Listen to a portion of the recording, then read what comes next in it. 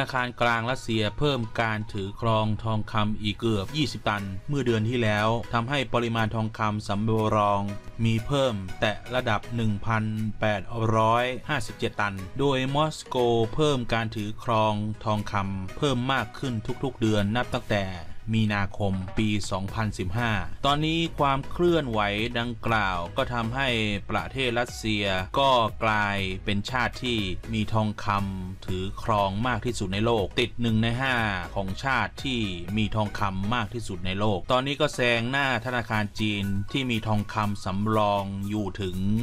1,843 ตันซึ่งธนาคารจีนก็ยังไม่ได้ซื้อทองคำเพิ่มตั้งแต่ครึ่งปีที่แล้ว โดยทั้งมอสโกและปักกิ่ง ได้เร่งยกระดับการสะสมทองคำเพื่อลดการพึ่งพิงเงินดอลลาร์สหรัฐ ทั้งประเทศรัสเซียและประเทศจีนก็ได้ประกาศประเทศจีนก็ได้ประกาศเปล่าประกาศว่าให้มีการโปรโมทเพิ่มการสะสมทองคำ ทั้งจีนและรัสเซียก็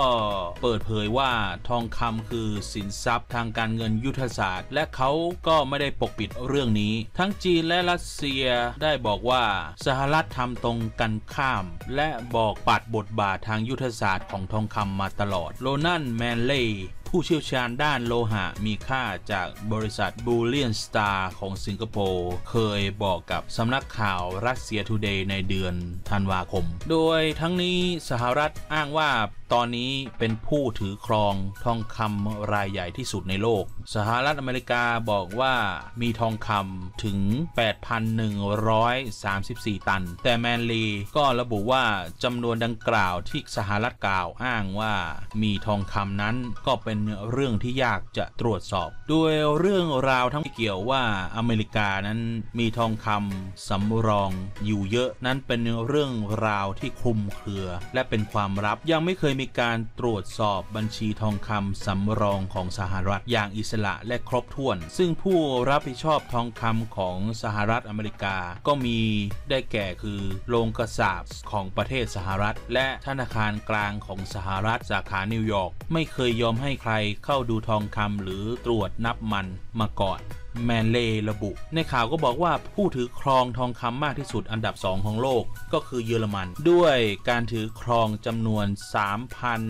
3,374 ตัน แต่อย่างไรก็ตามการถือครองขนาดใหญ่ของทองคำก็ยังอยู่ในสหรัฐ ส่วนอันดับที่ 3 เป็นของกองทุนการเงินระหว่างประเทศที่ถือครองทองคำไว้ 2,814 ตัน ส่วนอันดับที่ 4 ในการถือครองทองคำมากที่สุดของโลกคือฝรั่งเศส และก็มีก็มีข้อมูลจาก Go.org เว็บไซต์ Go.org ได้ระบุว่า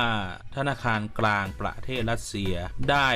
ยกระดับการซื้อทองคำเพิ่มมากขึ้นกว่า 2 เท่า ซึ่งเป็นความพยายามในการเพิ่มคลังสำรองทองคำของประเทศรัสเซียให้เป็นไปตามเป้าหมายที่ประธานาธิบดีวลาดิเมียร์ปูตินได้วางไว้ ที่ว่าประธานาธิบดีวลาดิเมียร์จะบอกว่า การถือครองทองคำนี้จะช่วยรัสเซียให้แข็งแกร่งพอ แข็งแรงพอที่จะรับมือกับความความเสียหาย ความเสี่ยงทางภูมิรัฐศาสตร์ที่เกิดขึ้น ทั้งนี้นับตั้งแต่ปี 2000 เป็นต้นมา ในขณะนี้ทองคำสำรองของประเทศรัสเซียก็มีเพิ่มมากขึ้นกว่า